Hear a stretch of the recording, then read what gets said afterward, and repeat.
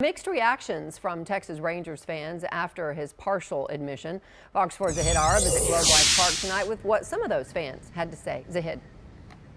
Well, Heather, while the Rangers are away playing the A's in Oakland, fans watching the announcement from an Irving bar today say the performance of players, coaches, and the manager matters, even after they step off the field. You know, it's all rumor mill.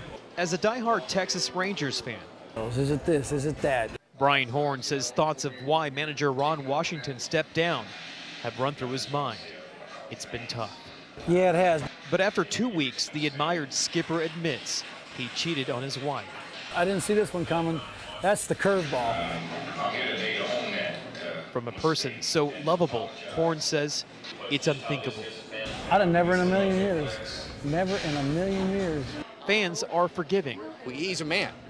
Come out, say you made a mistake. Good for him. With more pro athletes getting in trouble, I think there must be more to the story. fans say Wash's affair shows the public eye never shuts. Everything comes out now.